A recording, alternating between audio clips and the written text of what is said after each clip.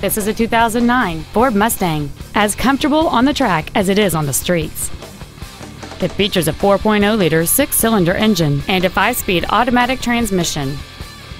Features include aluminum wheels, a low tire pressure indicator, cruise control, a CD player, a passenger side vanity mirror, the secure lock anti-theft system, complex reflector halogen headlights, a passenger side airbag, a rear window defroster, and this vehicle has fewer than 66,000 miles on the odometer. Stop by today and test drive this automobile for yourself.